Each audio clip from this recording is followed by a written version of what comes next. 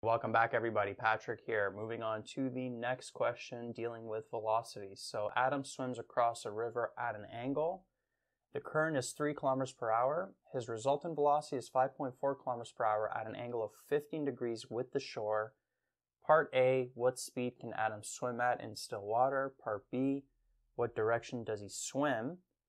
Part C How far downstream will he be in 20 minutes? And then part D If the river is 1 kilometer wide, how long in minutes will it take Adam to get to the other side? Okay, so lots going on in this question. So, part A What speed can Adam swim at in still water? Well, let's draw this river first. So, we got the shores of the river. And then uh, let's say that this way is uh, downstream, so the current is going this way.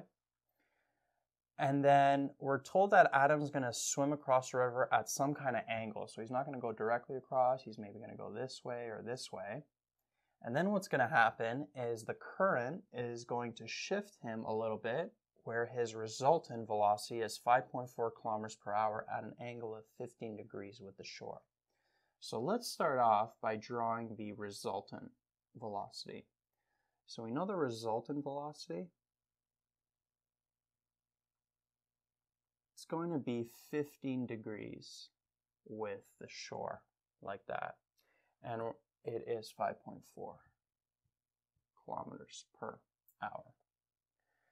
So this is going to be his resultant velocity.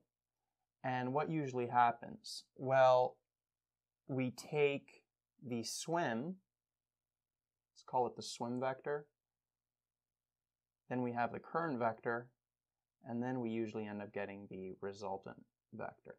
So notice that attached to the head of the resultant vector is going to be the head of the current vector. And we know the current is going this way, so we can draw a vector like this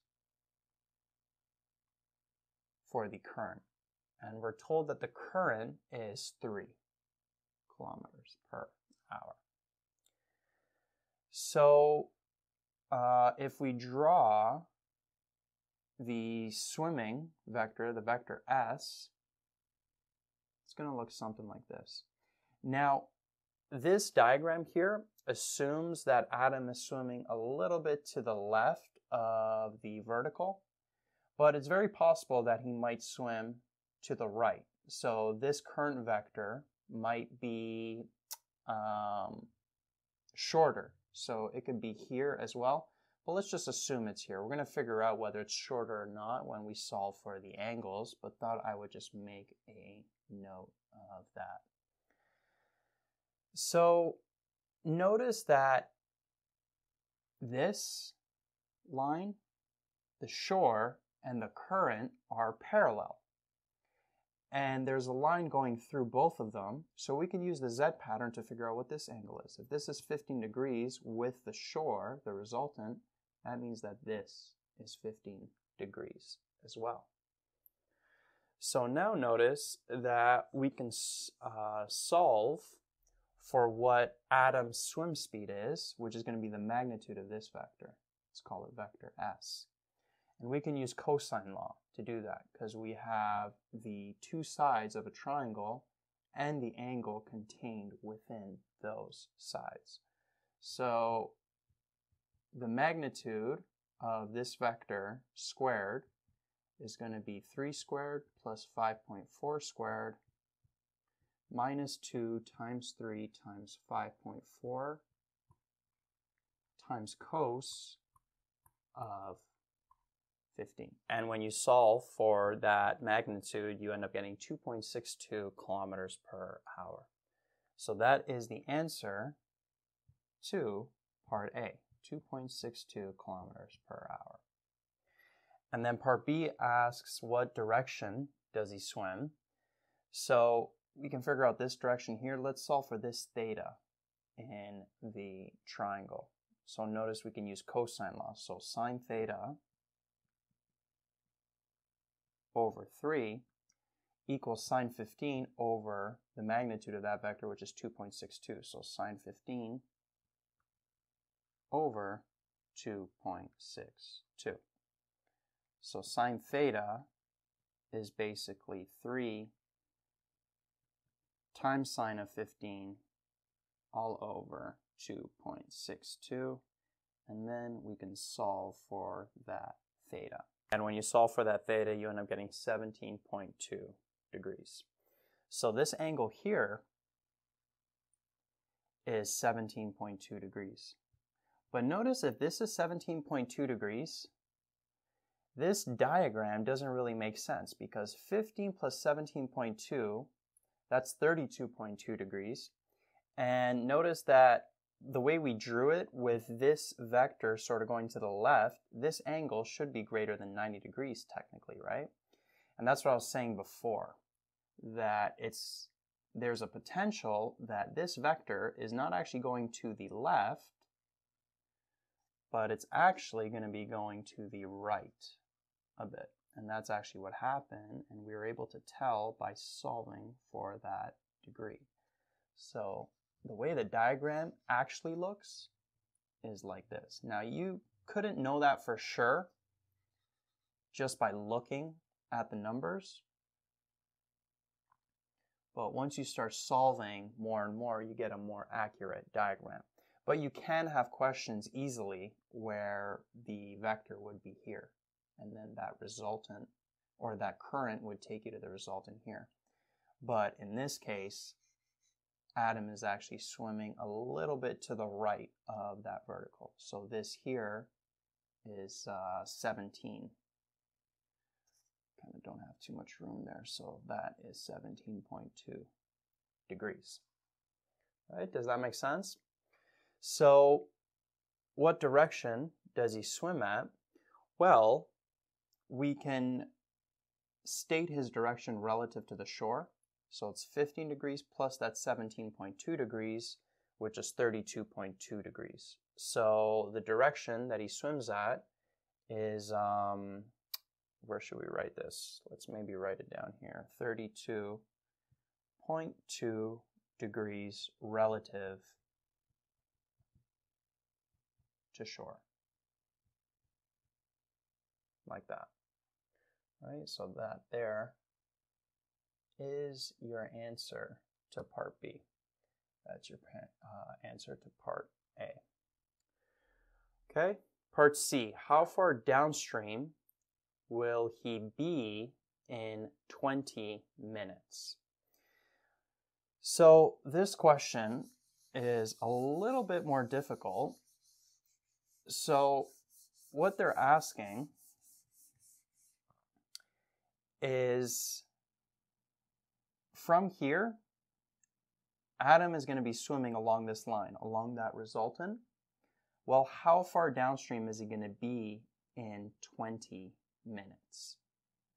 So notice that we can figure out how far he swims in 20 minutes along this line here, along that resultant, because we're told what the speed is. So we know distance equals speed times time. So the distance he's going to swim in 20 minutes is going to be 5.4 kilometers per hour but notice that we are given the time in minutes versus the speed is kilometers per hour. So we either have to change the speed to have minutes in it, or we have to change this time to have hours in it. And I feel like it's easier to just change this time to hours. 20 minutes is what? That's one third of an hour. If we take 20 minutes, multiply it by one hour having 60 minutes, 20 over 60, that gives us 1 over 3 hours. The minutes here will cancel out. So, the time here is 1 over 3 hours. So 5.4 times 1 over 3, that would give us what? 1.8, I believe. 1.8 kilometers. Right? So that's the distance along this line that Adam swims at in 20 minutes. So notice that we can make another triangle here. and we're going to make a distance triangle. So drawing this triangle again, so we have the shore here, and then let's just draw this uh, vector here. So Adam is swimming this way. This is still 15 degrees. And this is a distance triangle. Notice how all of these are speeds, 3 kilometers per hour, 5.4 uh, kilometers per hour. Well, this is going to be in distance, so it's going to be 1.8 kilometers. So when they ask you how far downstream will he be in 20 minutes, he started here. Well, how far downstream, was that horizontal distance going to be? Now, also be careful. If we redraw this triangle, it would be something like this, right? Maybe a little bit more slanted. Be careful not to solve for this side here, because this side doesn't represent that full downstream distance, because this, if we bring it down, it's actually going to be starting here, but we need it from the starting point to here. So you actually have to draw a new triangle where all you're drawing is the distance that Adam swims at here, and then you're just drawing a vertical line straight down. And you're solving for this side, where he started to, to that downstream distance, that horizontal distance to where he's at in 20 minutes. This is the point at which he's going to be at in 20 minutes. So you're solving for x, and this is a right angle triangle. So notice that you can use cos to solve for x. So we can say cos 15 equals x over 1.8. So x is basically equal to 1.8 times cos of 15. And when you multiply those, you end up getting 1.74. kilometers. So that represents how far downstream he's going to be. 1.74 kilometers. All right, and then uh, part D, if the river is one kilometer wide, how long in minutes will it take Adam to get to the other side? So, another tricky question. What's tricky about part C and part D is just realizing that you're not really going to be working with this triangle. All you have to work with is this right angle triangle here if you draw a dotted line. So here's what I mean by that for part D. Adam is swimming this way. So he starts here and then he gets to the other side of the river well, we know this is 15 degrees with the shore, and then we know that the river is one kilometer wide. So this distance here is one kilometer. So if the river is one kilometer wide, notice that we can solve the distance that Adam swims, because he's swimming along this line here, along that resultant line. So once we figure out what that distance is, time is just what? Distance over speed. And we already know what the speed Adam is swimming at along that line is that resultant speed of 5.4 kilometers per hour, which we were given in the question. So we just got to find the distance. And remember, this is a distance triangle. This here is a velocity triangle. So you can't be combining, like you can't put this one here in this triangle because this triangle only has speeds. This triangle has distances. So to solve for this distance, notice that's the hypotenuse of a right angle triangle. We got the opposite side, so we can use sine. So sine 15 equals opposite over hypotenuse. And when we isolate for that distance, it's basically 1 divided by sine of 15. And when you solve for that distance, you end up getting 3.86 kilometers. So the distance that Adam swims, 3.86 kilometers. And then um, the speed at which he's swimming at, 5.4 kilometers per hour. So 3.86 divided by 5.4, you would end up getting 0.715. And notice that this is in hours here, right? Because we got the speed as kilometers per hour. But notice in the question, they're asking how long in minutes will it take Adam to get to the other side.